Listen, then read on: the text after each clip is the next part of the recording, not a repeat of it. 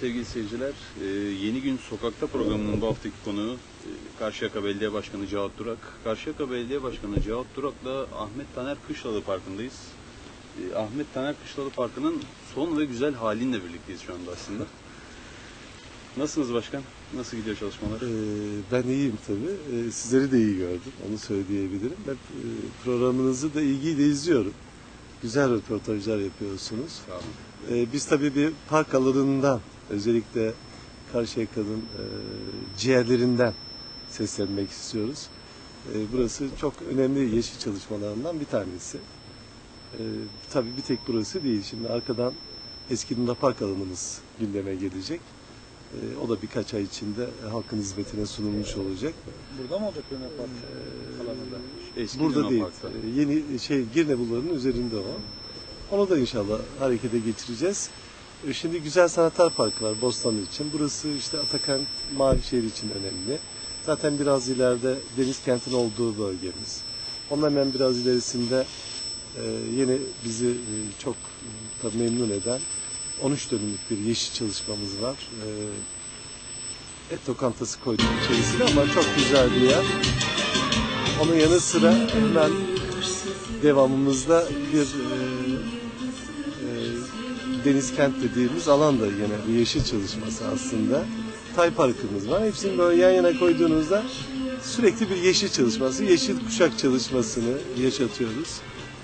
E, Bunları tabii e, tek tek yerine koymak çok önemli. E, ve Karşıyaka'ya geldiğimiz günden beri son 7-8 sene içerisinde yeşili yüzde yüzlerin üzerine çıkardık. Bu tabii çok önemliydi. Burası Park sayısını-. Yani bunun yaratmak falan sorun oluyor. Tabii tabii çok kolay değil. Yani bazen e, istinaklar da yapılıyor. E, şimdi gözüm tabii takılıyor. Biraz ileride bizim önümüzdeki günlerde dragon yarışları var. Onun çalışmaları var bakın.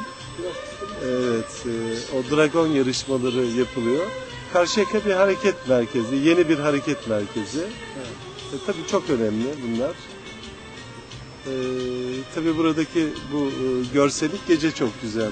Karşıyaka şarkılarıyla müzik e, açıkçası e, su oyun oynuyor e, ve çok da önemli. E, bunları çoğaltabilmek çok önemli. Biz bunları yapmaya başladık. Karşıyakalı da mutlu. Burada yaşamaktan dolayı çok mutlu. İşte hemen yanında bir güzel sanatlar parkımız var. E, Bostanlı'ya daha çok hitap ediyor. Orası da içinde e, güzel sanatlar atölyesi var, e, galerisi var. Orada da bir kafe. Aynı zamanda buraları biz doğal afetlerde toplanma merkezleri olarak hazırlıyoruz. Bunlar da bizim için çok önemli. E, Karşıyaka e, tipik bir Akdeniz e, kenti gibi hareket ediyor ve siestayı çok iyi yapan bir yer. Akşam üzeri bir bakıyorsunuz canlı yaşayan bir bölge ama öğleye kadar insanlar dinleniyor, istirahat ediyor. E, emeklisi buradan e, tat almaya çalışıyor. E, şimdi genci de yavaş yavaş yakalamaya başladık. E, yeni yeni e, yaşayan bir kent olmaya başladı. Karşıyaka e, herkesin beğeniyle izlediği bir yer olmaya başladı. Yani eskiden sadece işte Alsancak ya da İzmir taraflarına gidiliyordu gece hareketi için. Şimdi Karşıyaka'da da o canlı yaşayan kent görüntüsü var. Bu tabii bizi mutlu ediyor bir yerde. Ama bunları yaparken de mutlak kurallarını da e, koymaya çalışıyoruz. Herkes belli bir disiplin içerisinde e, Karşıyaka'nın hem huzurlu kent olarak yaşamasını hem de yaşayan bir yer olmasını sağlamaya çalışıyor. Bu da bunlar e, tabii bizim arzu ettiğimiz güzelliklerdi. Biz bunları yakalamaya başladık. Şimdi karşı, Karşıyaka kuşkusuz İzmir'in en güzel e, ilçelerinden bir tanesi. Hı hı. Sanırım bu konuda da kendinizi şanslı hissediyorsunuz. Burada belediye başkanlığı yapmak. Ee, yani Karşıyaka'da belediye başkanı olmak hem güzel bir şey hem de çok zor bir yol. Çok e, kolay bir iş değil onu söyleyebilirim. Neden? Karşıyaka farklı bir bölge. Sorgulayan bir bölge. Karşıyaka aidiyatını alan herkes Karşıyaka'yı canlı yaşıyor ve sorguluyor. Yani bunu e, Türkiye'nin çok yerinde göremezsiniz ama Karşıyaka sorgulayan bir kent. Yaşarken insanlar belediye başkanından hesap sorabiliyor. E, bunu e, yakalamak, bunu o insanlara verebilmek çok kolay bir iş değildi. Biz bunları teker teker e, yakalamaya başladık. Bu da bizim için büyük bir şans oldu. Karşıyaka adına e, gerçekten güzel şeyler oluyor diyebiliyorum. Aslında bir takım zorluklara neden olabilir insanların sorgulaması ama e, gitgide olay ilerleyince e, mesela bir belediye başkanına yaptığı hatayı da gösterebilir duruma geliyor tabii, vatandaş. tabii, tabii, tabii. Bunu böyle yapsaydınız çok daha güzel olurdu. Yani bizler insan hatalar da yapabiliriz ama tabii buna önemli olan bilerek yapmamak. Ee, ancak biz şu anda yaptıklarımızda her zaman gurur duymaya başladık. Ee, vatandaş onu da yakalıyor. Güzel şeyleri takdir etmesini biliyor. Sırası gelince size teşekkür ediyor. O da bütün yorgunluğunuzu alıp götürüyor. O kadar önemli ki o. Peki 9 yıldır başkansınız. Ee, yola çıkarken şunları yapacağım Karşıyaka'da işte Hı hı. ideallerim bunlar deyip de yapamadığınız şeyler var mı gelecek döneme ilişkin? Yok fazlası var. 9 yıl hani e, neler oldu? E, Cevat Durak neler yaptı? Genel böyle bir özetleyebilir miyiz? Ya bunları söylemek istemiyorum artık. Bunları çok yakın tarihte basın toplantısıyla zaten herkese duyurduk. Evet. Ee, artık bunları daha geniş kitlelere e, sırası geldikçe farklı zeminlerde anlatmaya da çalışıyoruz. Ama şunu söyleyebilirim. 9 yılda 3 tane 5 tane bir proje gerçekleştirmedik. Yani yüzlerce proje gerçekleştirdik. Bunları tek tek anlatmak çok kolay değil. Bizim hedefimizde e, insan olduğu için, özellikle sosyal demokrat bir belediye başkanı olduğum için sosyal belediyeciliğe ağırlık verdik ve insanlara dokunur projelerle ulaşmaya çalıştık. İnsana sokakta gidip elini sıkmak ya da insana e, gidip işte ben geldim merhaba bir çayını içeceğim demekle belki bir mesafe alabilirsiniz.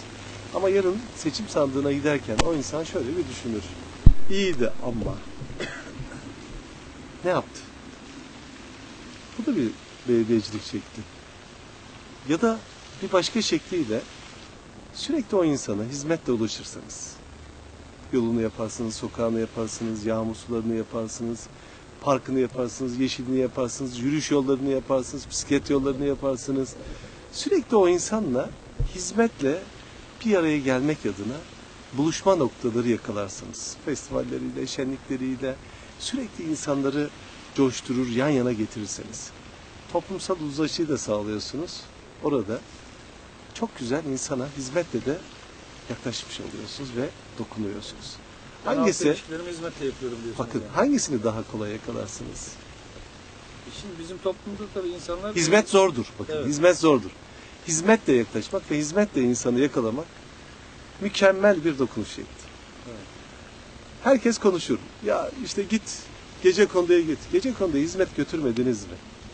O insanı bir kerez daha yarın hayal kurduğu şeyleri vermediğiniz zaman bir kere daha bir boşluğun içine atarsınız. Ama ona hizmet götürdüyseniz, yalan söylemediyseniz, kucakladıysanız o insanı, hizmetle buluşturursanız o zaman gerçekten önemli şekilde mesafe alıyorsunuz. Çok büyük mesafe alıyorsunuz. Ben bugüne kadar hizmetlerde sınır tanımadım. Yapabildiğimin en iyisini onlara ulaştırmaya çalıştım. Sırası geldiği zaman ihtiyacı olduğunda da yanında olmaya çalıştım. Cenazesinde olmaya çalışıyorum, düğününde olmaya çalışıyorum ama tabii ki bir belediye başkanı hepsine yetişme şansına sahip değil. Bunları yaptığınız sürece de büyüyorsunuz. Peki varoşlar için yaptığınız neler var? Burada şemikler... Valla e, eşit bir çalışma yapılıyor. Yaptığınız ne var diye sorarsanız Neler var? o zaman karşı yakayı tanımıyorsunuz demektir. Evet. Biz- için sıfır... Hayır her tarafta her şey yapılıyor. Yani e, şantiyemden başlayarak, varoş dediğiniz bölgelerdeki huzur evimizden başlayarak, engelli merkezlerimizden başlayarak, tenis kortlarımızdan başlayarak, kültür merkezlerimizden başlayarak çok şey anlatırım. O zaman derim ki karşı yakayı gezmediniz. Gezmemişsiniz, bilmiyorsunuz. Sokak bu. Aslında bütün öyle. Karşı yakayı yakalamak lazım. Karşı yaka tek bir çarşıdan ibaret değil. Ya da şuradaki sahilden ibaret değil. Karşıyaka büyük bir cennet öyle diyelim. Her bölgesi hizmete susamış. Yıllarca almadığı hizmetleri yeni yeni yakalıyor. Arka çeper dediğimiz yani baktığımızda sahilden arka taraf hiç görünmüyordu. Ne zaman çevre yolu yapıldı arkalar görünmeye başladı. İşte biz oradaki hizmeti eşit ve adil şekilde götürmek zorundayız. Burada yaptığınız hizmeti de, orada yaptığınız hizmeti de eğer buluşturma noktasında bir araya getiremezseniz o zaman vatandaşa da gitmemiş oluyorsunuz. Dokunmamış oluyorsunuz. Oradaki sokağı da iyileştireceksiniz. Oradaki vatandaşın istediği semt evini de yapacaksınız. Kadın danışma merkezini de yapacaksınız. Ona sürekli onu hareket haline sokabileceğiniz hizmetleri götüreceksiniz. Yoksa haç şikayet olmaz mı? Olacak. Üç kişi, beş kişi kendi bireysel istemine dönük sorular da soracaksınız. Onu da yakalayacaksınız. Ama sürekli gece gündüz çalışarak. Sürekli çalışarak ona ulaşmanız lazım. Tek hizmet noktasında ulaşmak da çok doğru. Bina yapacaksınız ama o binanın içinde dolduracaksınız. Onu neyle doldurursunuz? Daha çok tiyatro eseri götürerek. Yani bir sürü oyunlar oynayacaksınız. Vatandaş orayı çekip onu bir kere önce karşı yakalı yapacaksınız. Kent kültürü içerisine alacaksınız. Bu şehirde yaşadığından dolayı pişman değil, mutlu olduğunu ona göstermeniz lazım. O mutluluğu yaşadığı zaman zaten sizi ifade ediyor. Size söylüyor. Diyor ki ben bu kentte yaşamaktan, karşı yakalı olmaktan dolayı mutluyum. Doğum yeri farklı olabilir. Ama karşı yakalı olmak aidiyetini eğer veriyorsanız, karşı yakalı yapıyorsanız onu mutlu etmişsinizdir. Çok güçlü Yeter ki karşı yakalı yapabilirsiniz. Evet. Ben onu işledim. Geldiğim günden beri onu işlemeye çalıştım. Yaptığım her hizmette öyle ulaşmaya çalıştım. Evet. Aksi takdirde başka türlü ona o hizmeti götüremedikten sonra yani çayını içtim. Kaç kişiye ulaşırsınız? Bir günde en fazla 20 insana ulaşırsınız. Halbuki hizmette binlerce insana ulaşıyorsunuz. O zaman o insanlar mutlu oluyorlar. Binlerce insanı mutlu etmek çok daha önemli diye düşünüyorum. Yani partililerden ama böyle bir şey var. Hani Cevat Bey'e ulaşamıyoruz. O yalan. Ee, Yalan. Görüşemiyoruz şeklinde. Hayır, hayır. olarak Benim kapım açık ama şunu söyleyeceğim. Hayır, o yanlış. O ifadelerin tamamı yanlış. Ee, ulaşamıyorum diyen insanın tek söyleyeceği şey şu olabilir. Ben çocuğum için bir çocuğuma iş kaptım ama ikinci çocuğuma iş kapamadım demektir. Başka türlü onun e, ifadesi mümkün değil. Kapım açık ama oturan bir belediye başkanı değilim. Sürekli dışarıdayım, sürekli halkın içindeyim. Ee, onu söyleyene şunu söyleyeceksiniz. %50 ile geldi Cevat Turak. %65'e çıkardı. Eğer halkın içinde değilse nasıl ulaştı bu oylara? Bugün %70-75'i nasıl ifade ediyor? Onu sormak lazım. O onu söyleyen kişiye şunu söyleyebilir. O gerçekten partili değil. Gerçekten partili olsa belediye başkanına eleştirmez. İlçe örgütüyle ilişkiler nasıl başkanım? Yani bunları konuşmak çok doğru değil. Yani şu anda olması gereken bir bir- ilişki içerisinde gidiyoruz. Ancak şunu söyleyeceğim. Yani e, yani seni çok iyi tanıyorum. Yani e, orada bazı arkadaşlarla ilişkilerinin nedenli olduğunu da biliyorum ama o bir başka olay. Onu bir başka olarak görüyorum. Ama şunu Ben söyleyeceğim. Şunun için sordum. Ben ya. herkesi yanlış anlaşılma. uzlaşı içerisinde yakalamak istiyorum. Ee, onun bunun e, iyi olması ya da onunla bunun da ilişkimin iyi olması değil. Ben Cumhuriyet Halk Partiliyim. Yakamdaki rozet her zaman alt oktu, rozet oldu. Evet. 36 yıllık geçmişi olan bir e, partiliyim. Ama bunu yaparken hizmette sınır tanımadım. Hizmette de hiçbir zaman partisel bir ayrım gözetmedim. Çünkü partim bana bu görevi verdi. Ben bu görevi en iyi şekilde yapıyorum. Ha bu görevi yapamayan ya da yapmasına muktedir olmayan insan her türlü lafı söyleyebilir. Herkes çünkü kendini Cevat Durak'ın yerine koyuyor. Herkes kendini bir belediye başkanı olarak görüyor. Hiçbir şey söylemese bile ne? Bekliyor, görüyor. Aa iyi ki yakaladım diyor falan. 6 aydır görmedim diyor başkanım diyor seni. Peki diyorum şurada işte geçen hafta şurada beraber değil miydik? O sayılmaz diyor. Evet. Baş başa göz Şimdi bu bir başka olay. Yani bunu yakalamak çok önemli. Ee, ben şunu görüyorum. Onların içine girdiğimde, vatandaşın içine girdiğimde, ayrımsız girdiğimde, çocuğuyla, yaşlısıyla, genciyle gözyaşlarını görüyorum o insanların. Nasıl bize sarıldıklarını görüyorum. Onun için ben karşı yakalara, gerçek karşı yakalara buradan bir kez daha şükranlarımı iletmek istiyorum. Şu çok önemli. Onlara dokunmak, onlarla kaynaşmak, onlarla buluşabilmek bu kadar önemli ki. Bunu bireysel kendi egolarımız için bu yaptığımız hizmeti görmemezlikten gelerek farklı noktalara taşıyamayız. Biz önce halkla bütünleşeceğiz. Halk burada yaşayan 325 bin insan. Bundan önce de 600 bine yakın insandı. Bölündük, parçalandık. Siyaset yapıldı. Emek siyaseti yapıldı. Bütün bunların hepsini hak etmedik ama yaşadık. Şimdi bu saatten sonra bunları çok fazlasıyla konuşmak istemiyorum. Evet.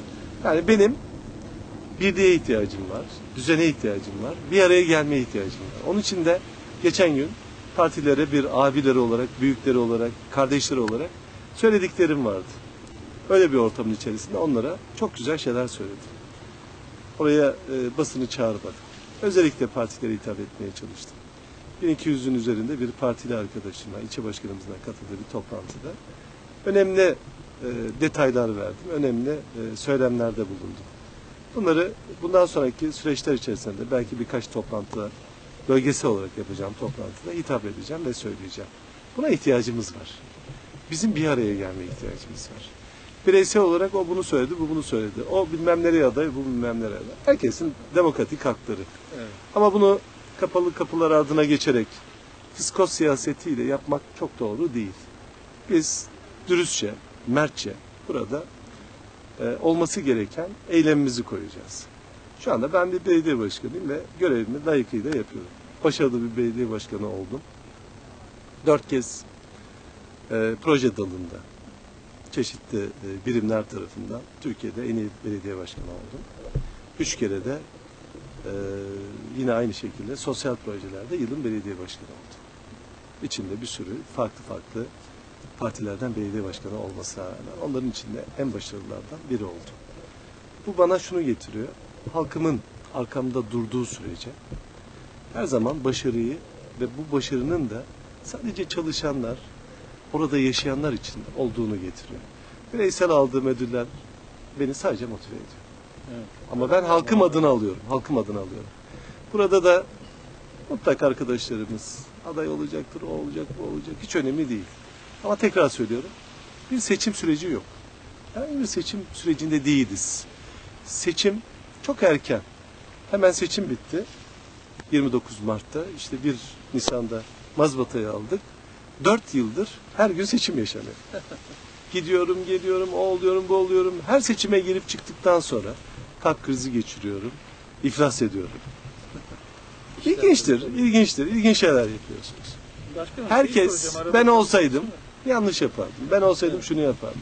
Hayır ben kimse değilim. Ben Cevat Duran ve bireysel olarak bugüne kadar ne yaptıysam eğer bir hatam varsa sadece kendimi bağlayacaktır. Ama partimin başını hep dik tutturdu. Evet. Ona öne eğdirecek hiçbir harekette bulunmadım. 48-49 yaşında belediye başkanı oldum. 10. yılımı 49 yaşında, şey 59 yaşında tamamlayacağım. Çalmadım, çırpmadım hiçbir zaman.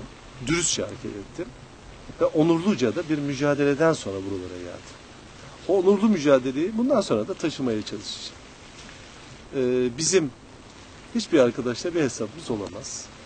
Bu süreç bizim Aralık ayı gibi, Ocak ayı gibi şekillenir. O güne kadar da hissesimi çıkarmayacağım. Her zaman söylediğim gibi partimin bayrağını sürekli yukarılarda taşıdım. Bunu hiçbir zaman aşağı indirme e, cüretini de kimse görmemeli. Büyükşehir için isminiz. Büyükşehir'den önce şunu sorabilir miyiz? Ee, şimdi bir sıkıntı yaşanıyor belli. Karşıya kadar bir takım sıkıntılar Hiçbir var. sıkıntı yok. Yani e, hiçbir sıkıntı yok. bir sıkıntı var. Yok yok o da yok yani onu da söyleyebilirim. Ama yani gö- gördüğüm e, sizin AKP tarafından değil de daha çok parti içerisinden bu tip sıkıntılar yaşamak. Ama bunlar işte aşılacaktır. Yani ben şunu söylüyorum. Ee, şunu o gün de söyledim gene söylüyorum. Yani ben Cumhuriyet Halk Partisi rozeti taşıyorum. Benim alt edilmem için mücadele eden arkadaşlarım da Cumhuriyet Halk Partisi. Şunu düşünmeleri lazım. Yani alt etmeye çalıştığı Cumhuriyet Halk Partili bir belediye başkanı olmamalı. Alt etmeye çalıştığı rakip bir parti olabilir. E şu anda burada bir belediye başkanı var ve başarılı. Herhangi bir boşluk yok.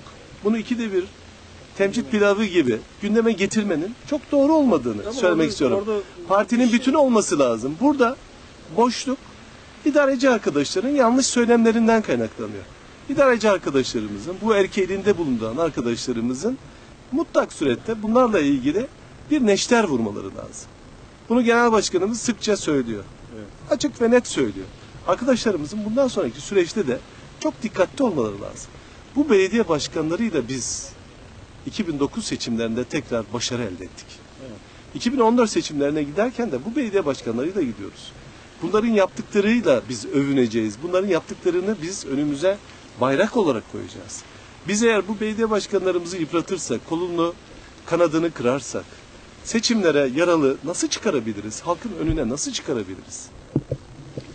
Eğer buralarda değişmesi gereken boşalma olacak yerlerimiz varsa, çekilme varsa bunlar sırası geldiğinde yapılacaktır. Ama bütün bunların hepsini bizim tüm arkadaşlarımız dikkatle izlemelidir. Yani burada bir boşluk varmış gibi ikide bir adayların türemesi de çok doğru değil. Ama ben burada bir parantez açmak Evet. istiyorum. Şimdi bu Bak Yılmaz'a Şimdi e, tabii en son şeyi tartışıyorduk ben başka bir şey sorayım. Şimdi burada birçok eseriniz var. Karşıyaka ve İzmir'e sembol bir e, eser tabii bırakmak. Hepsi güzel eserler ama İzmir'in yani dünyada ve Türkiye'de bir opera binası projeniz vardı. O ne durumda? Biz operamızı yaptık biteli çok oldu da şimdi Değil mi? e, Yeni şimdi opera binası büyük Mustafa'nın tabii mi? e, Mustafa'nın şimdi biz orayı Büyükşehir'e verdik tahsis ettik 6,5 yıla yakın oldu. Büyükşehir'imizden o projenin bir an önce başlamasını bekliyoruz. Şimdi e, öbür olayı biz e, yarı bırakmayalım konuşalım. Yani Bence de bırakmıyorum sen. Ee, Bozma. Şimdi e, Mustafa orada sıkıntıya girecek diye korktu biraz ama hiç korkma. Yok. Onun, e, yalın olarak cevabını vereceğim. Yani bizim e, en önemli şeyimiz e, söylemeye çalıştığımız olay şu. Belediye başkanlarımız var. Her ilçemizde başarılı çalışan şehirlerimizde belediye başkanlarımız var. Şimdi çok isimler geçebilir. Ama oradaki belediye başkanı arkadaşımıza sahiplenilmesi lazım. Biz seçimlere bu belediye başkanlarıyla hazırlanıyoruz. Parti içi yarışlar bu belediye başkanlarına zarar veriyor. Yıpratıyor bu insanları. Kamuoyuna çıktığı zaman kolu kanadı kırılmış bir belediye başkanının parti içindeki o yorulmasından dolayı vatandaşa ve e, gidişi, diğer partilerle rakip olarak mücadelesi gerçekten hız olarak kesilmiş oluyor. Ve önü de kesilmiş oluyor. Bir ölçüde sıkıntıya sokuyor. Halbuki bir an önce bizim arkadaşlarımızın, partilerimizin bu belediye başkanlarının arkasına geçerek, onları motive ederek, en azından seçim atmosferi içine kadar da olsa onları rahatlatmaları ve partinin mücadelesinde aday farklı olabilir. Ahmet olur, Mehmet olur. Hiç önemli değil. Bunu tabii ki genel merkez en doğru tercihini yapacaktır. Genel başkan bu konuda çok duyarlı. İzmir için özellikle kendisi bizzat ilgileniyor. Burada çokça arkadaşımız değişmeyecektir. Belli görevi bırakmak isteyen arkadaşlarımız olabilir. Birkaç arkadaşımızla ilgili genel başkanımız tercihler kullanabilir. Ama bütün bunları yaparken de oradaki mevcut arkadaşlarımızı yıpratmadan, onları her zaman kazanarak, küstürmeden bir süreci geçmemiz lazım. Burada partideki yönetimlerin çok ciddi olarak üst yönetimlerinde alttaki arkadaşlarımızın da, il başkanımızın, ilçe başkanlarımızın da bundan sonraki demeçlerine çok dikkat etmeleri lazım. Mevcut belediye başkanları olan yerlerle ilgili hiçbir şekilde tasarruf kullanmamaları lazım. Bu genel başkanımızın özel istemidir ve her fırsatı da bunu söylemektedir. Bunu söylemenizin nedeni e, CHP il, İzmir İl Başkanı Ali Yok yok onların ilgisi yok. Hayır onları konuşmak istemiyorum. Ali Başkan iyi niyetli bir arkadaşımız ancak sürekli üstüne gidildiği için o da sırası geldiği zaman cevaplar veriyor ve doğal olarak vermesi gerekenleri söylüyor. Oradan cımbızla bir kelime alınıyor, yayınlanıyor. Ee, Ali Başkan da orada zora giriyor. Ali Başkan şu anda örgütün başındadır. İzmir örgütünün başıdır. Ben e, seçim sırası destek vermedim. Doğrudur. Ama her zaman benim dostum, arkadaşımdır. Onun parti kaydını da ben yaptım. Yani e, o nedenle e, biz bütün arkadaşlarımızın bu konuda parti içerisinde her zaman en iyi konumda olmalarını arzu ederiz. Ancak bütün bu söylemlerin artık bundan sonraki safhalar içerisinde, kalan şu 11 ay içerisinde çok rencide etmeden, çok arkadaşımızı kırmadan, farklı farklı yorumlara fırsat vermeden farklılaştırılması lazım. Yani basın önünde artık biz partili belediye başkanlarımızı ya da partilerimizi e, yorumlar içerisine alarak, eleştirerek bir yerlere getirmemeliyiz.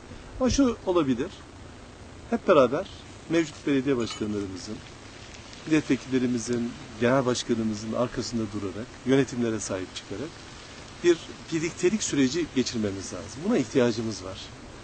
Hem yıpratmayı önleriz, hem dışa karşı mücadelemizi özellikle AKP'nin üstümüze gelişini görüyoruz.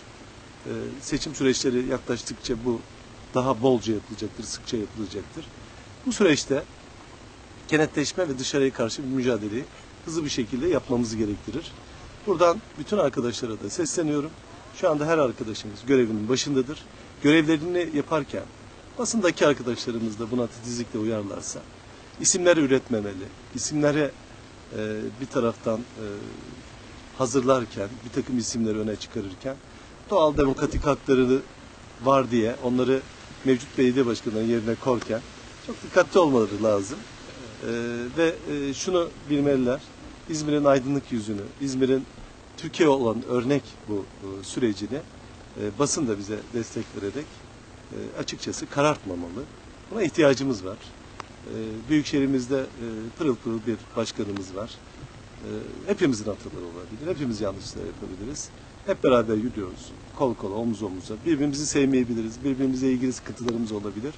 Ama bu süreci parti kendi içinde eritmeli ve dışa karşı birlik, beraberlik mesajlarını e, sahte gülücüklerle değil ama gerçek anlamda vermeli diye düşünüyorum. Buna ihtiyacımız var. Ben her zaman söylüyorum. Ben e, bütün partimi kucaklamaya çalışıyorum. Mutlak e, rakiplik süreci içerisine girmek isteyen, kendini aday konumunda görmek isteyen arkadaşlar kendi işlerinde kapalı kapılar ardında bir takım ekipler kurabilirler. Yanlış şeyler yapmış olabilirler. Ama bunu yaparlarken partiye zarar vermemeye, partili belediye başkanına zarar vermemeye dikkat etsinler. Ee, doğal olarak herkes her süreci yaşamakta hür. Ama dediğim gibi bunu bir parti bilinci içerisinde, parti ahlakı içerisinde, Cumhuriyet Halk Partisi'ne yakışır şekilde yapmalılar. Mücadelenin parti içine değil, parti dışındaki rakiplere karşı yapılması gerektiğini hiçbir zaman unutmamalıyız diye özellikle vurgulamak istiyorum. Melik Gökçek yasasından da bahsetmiştik. Evet. Yani şu bir kere çok önemli. Yani bizim büyükşehirle sırası geldiğinde e, söylemlerimizde farklılıklar olabiliyor ama bu tamamıyla yasadan kaynaklanan bir süreçtir. E, Melik Gökçek yasalarının özellikle e, Türkiye üzerindeki şimdiki büyükşehir belediyelerinin daha sonra e, tümden yeniden değiştirilmiş yasalarla e, tamamıyla e, yerelleşmeden uzaklaştırılarak merkezi e, bir e, yetkiye dönüşmesinin ileride de getireceği sıkıntılar var. Bunları da görüyorum ve bunları özellikle vurgulamak istiyorum.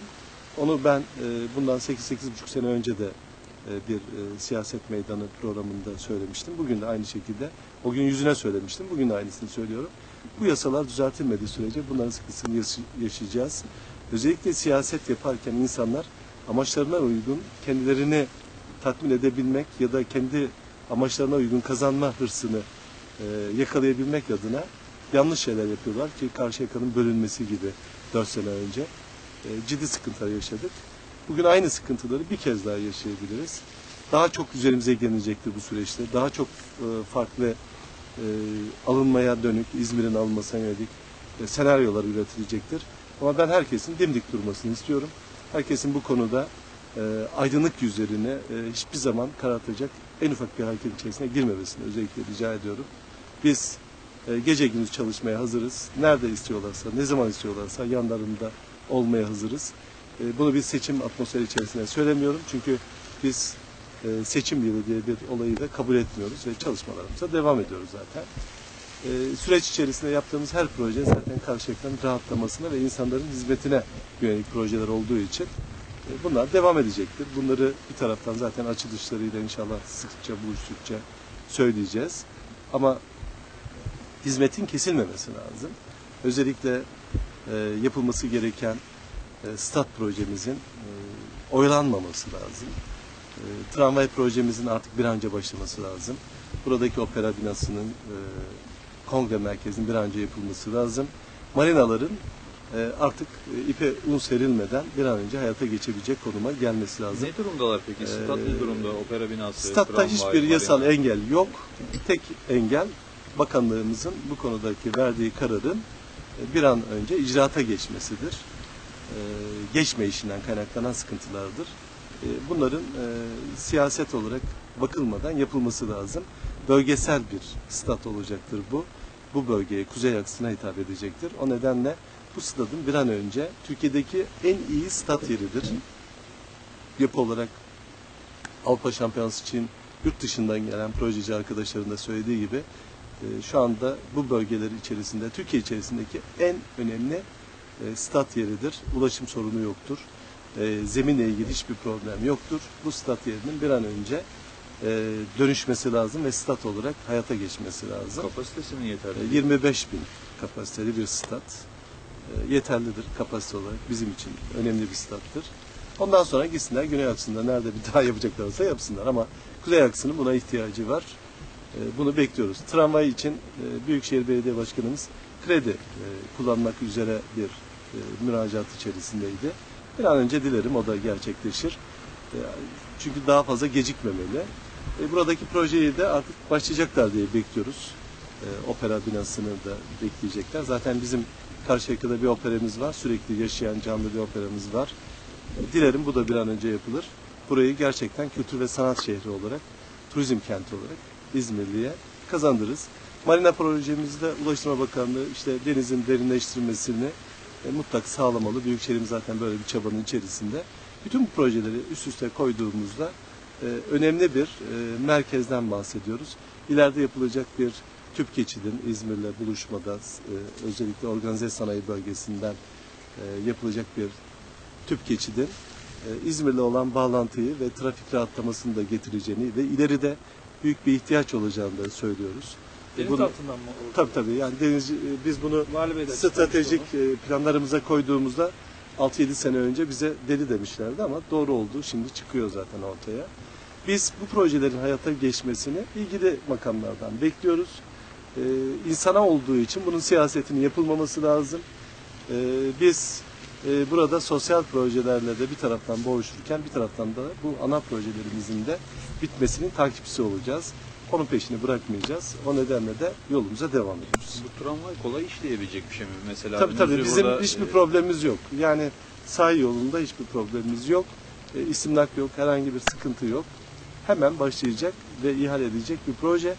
Burada tek olay e, Büyükşehirimiz onayları aldı. Krediden dolayı bir e, bakanlık onayı gerekiyor. E, hazineyle ilgili. E, İnşallah da Karşıyaka tramvayının güzergahı tam olarak ne olacak? Yani e, Karşıyaka tramvayı Sadece sahilden, e, tersaneden başlıyor, geliyor. E, Bostanlı Vapuskesi'nin oradan içeri giriyor. Cemal Gürsel Caddesi'nden Mavişehir'e geliyor. E, buradan Mavişehir İstasyonu'na kadar gidiyor. İleride doğal yaşama kadar ki güzergah ve belki de Girne, stat yapılacak yeni yere kadar e, geliştirme şansları da var. Çünkü tramvay projesi yolu kesmiyor. Yani e, üzerinden trafik akışını sağlayabiliyorsunuz. Hiçbir orada problem yok. e, oluşacak bir e, otopark sorununa değiniliyordu. Otopark sorunu yok. E, Mevcut otoparkların, Hayır, hayır, hiçbir kenarındaki sorun yok. otoparkların kaldırılması gibi. Hayır bir- hayır hiçbir yerde arkadaşlar kesinti yok. Otoparklara zarar vermiyor. Hiçbir şekilde, hiçbir yerde en ufak bir sıkıntısı yok. Ya bu e, yanlış bir ifade. Da ileride belki şeyin olduğu yerde otoparkı orada da çözdük. Bir alt geçit Vapuskesi'nin önünde düşünüldü. Büyükşehirimiz onu şu anda acele etmeyin diyor.